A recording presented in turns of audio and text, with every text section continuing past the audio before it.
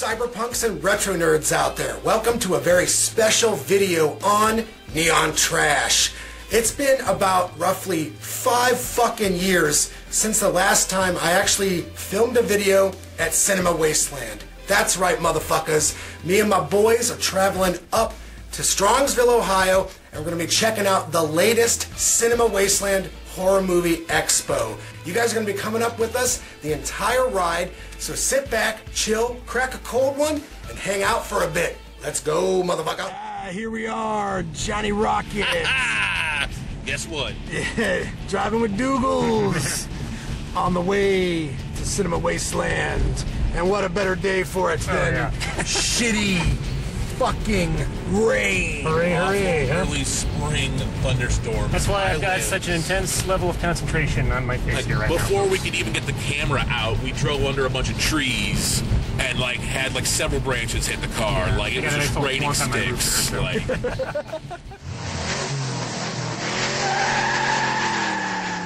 my God, we finally All right, we made it. Yes. Yes, the boys have finally made it here the epic journey. to Cinema Wasteland. Yes, let's take a look around. Shall we? It looks like it's full tilt this year.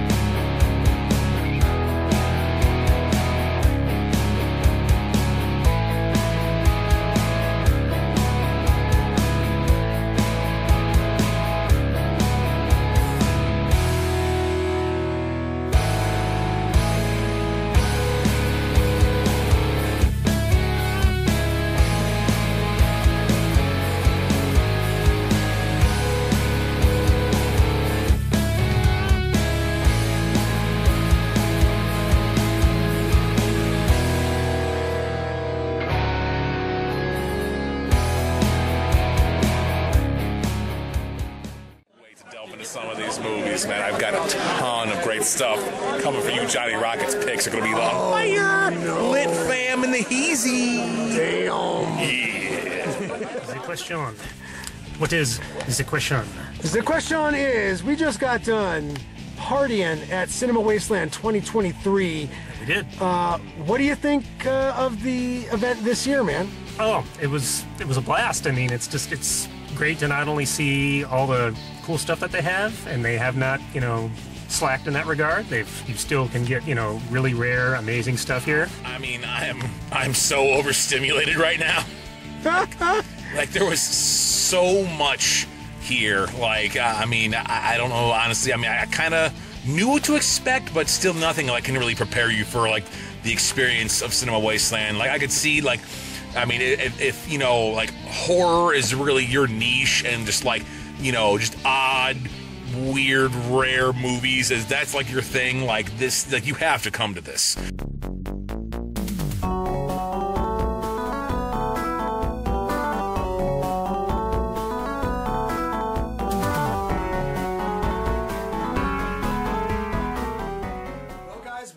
Got back from Cinema Wasteland 2023. Oh, yeah. I think it's safe to say that we all had a blast at this festival, and what a hoot it was to film there after all these years. It has been far too long, right, Dooglies? way too long. We dropped some cheese, and tonight we're going to be doing a double feature. We're starting off with Tommy Boy's pick, and I thought we would check out the early 1980s Aussie giallo called Nightmares.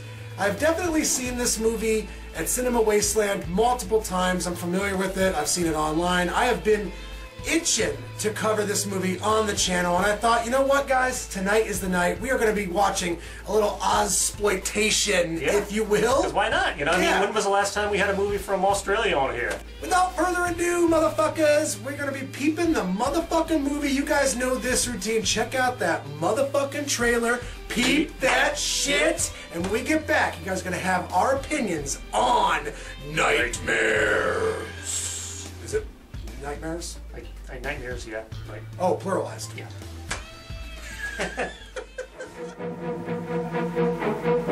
Watch closely now, but don't dare look behind you. Just feel the skin crawl on the back of your neck.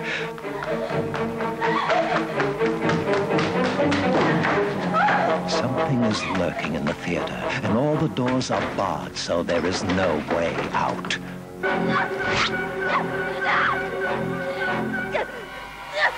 Down.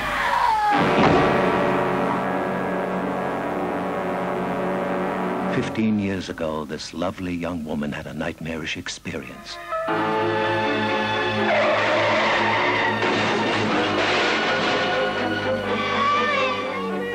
Today, she's a grown woman, and her nightmares are still happening. But now, they're all coming true. Bioscope presents Jenny Neumann, Gary Sweet,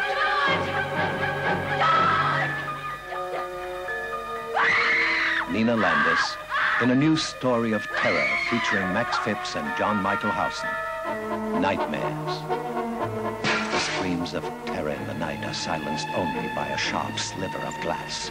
Now take a look over your shoulder before you leave this theater, because you will never enter another theater in quite the same way again. Many motion pictures promise you terror, but Nightmares is truly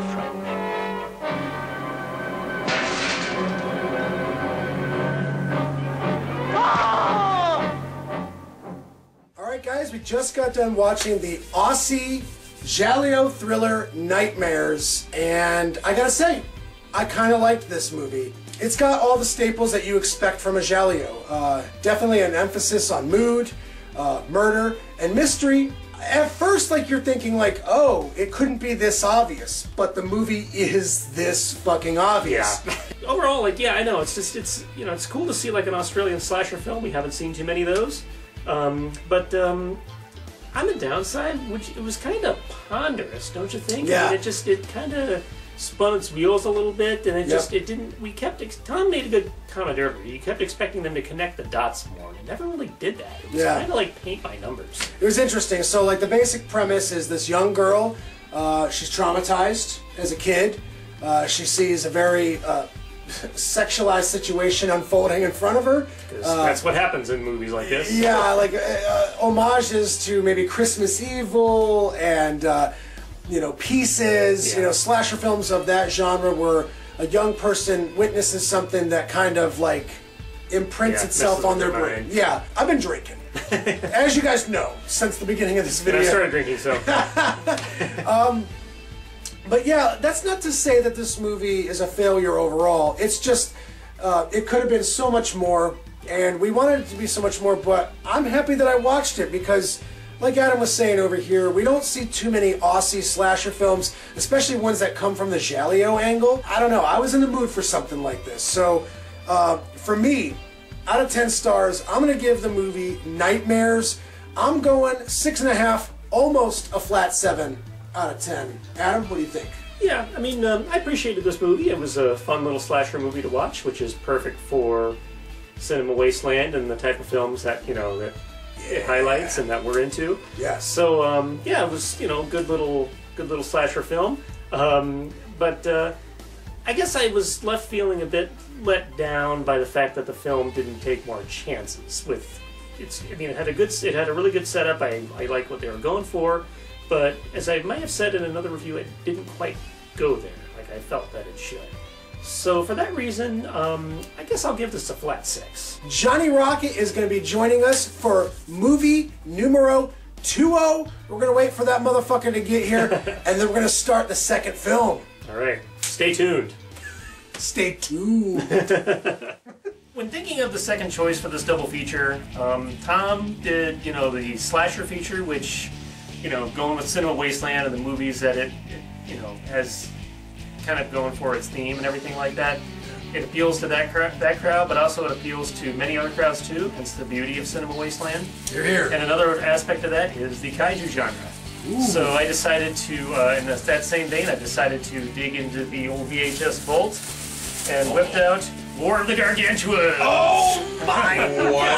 Which I've been wanting to show John Rockwood for quite some time, so it works out beautifully. Did you Oh guys get this? Uh, Did you pick this up today? Wow. actually, I, it's been it's been with me for a minute. Why not? Video time, guys. So while we bust open the old VHS vault, you guys get to peep that trailer. Peep. Boom! That shit. shit. And when we get back, you guys are gonna know all of our opinions on War of the Gargantuans.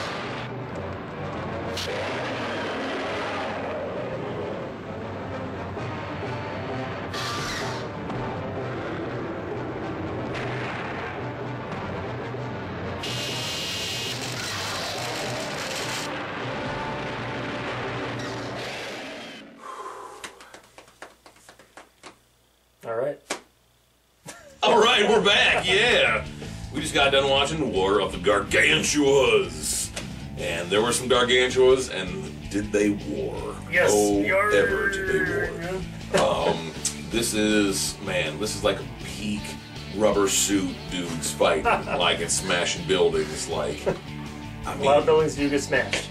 th- this movie has like good wheel spinning in that aspect, and then bad wheel spinning in other aspects, and like the way they kind of edited some of the parts with you know the, the professor and his assistant and whatnot. Like I don't know.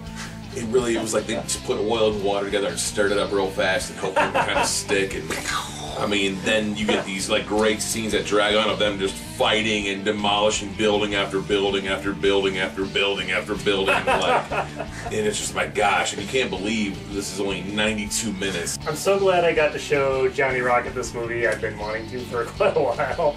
Um, yeah, this is just a big, dumb, fun goofball movie. I mean, it's like it's just like perfect movie to watch with the dudes. You know, after drinking a couple beers, on a night like tonight after we've gone to like a horror convention.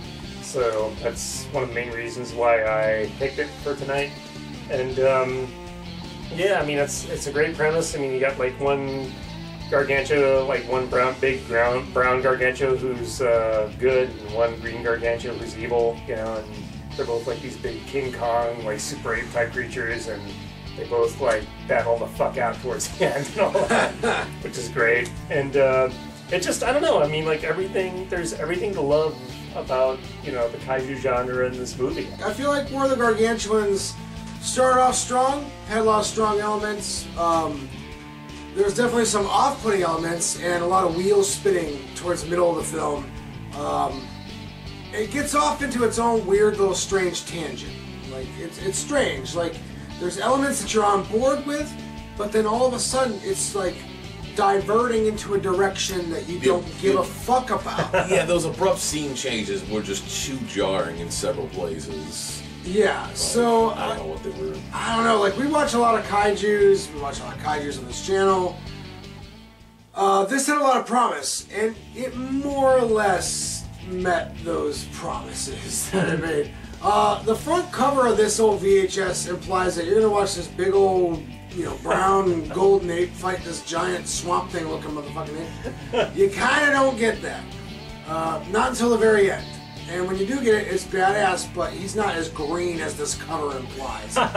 Star counts. Um, let's see. I was kicking around a couple of numbers earlier, and I'm kind of feeling a good like five and a half here on War of the Gargantuas. Like it, it, it's, I, I had like a nine out of ten time watching this, but it's really like a five and a half. You know, like yeah.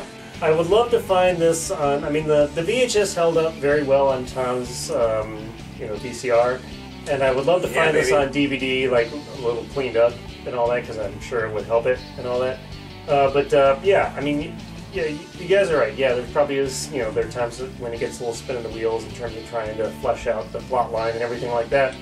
But uh, I think ultimately, I mean, in terms of just the final clash between the two shaggy giants, it uh, it just works. I mean, it just it uh, it works beautifully, and especially since you know the brown gargantua, I kind of felt like was you know they really do make him out to be like an empathetic sort of like you know being and all that, and he just you know doesn't want to fight with his brother, but that's what ends up happening anyway, which is tragic. So I uh, I dig this movie.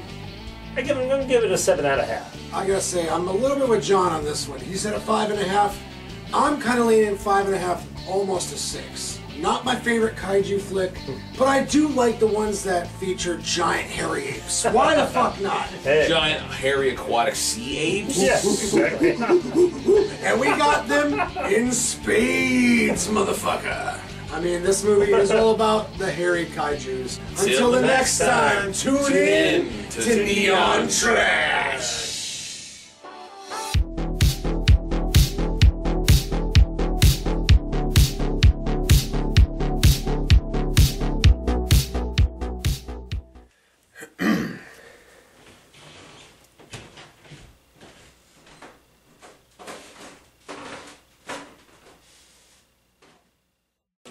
Ninety-two minutes. Yeah, it felt Longest like ninety-two minutes of my life. nothing like a little day drinking.